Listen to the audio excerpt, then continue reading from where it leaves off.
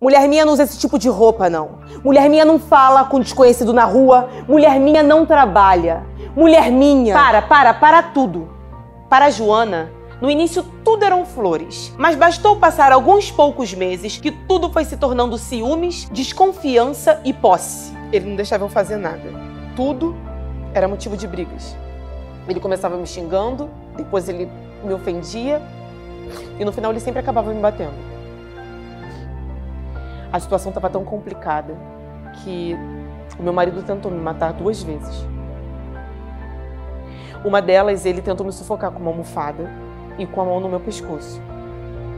Não satisfeito, ele abusou de mim sexualmente. Quem não conhece uma Joana? Vamos juntas contra o feminicídio. Independente de quem seja a Joana, não se cale. Ofereça ajuda, peça ajuda denuncie.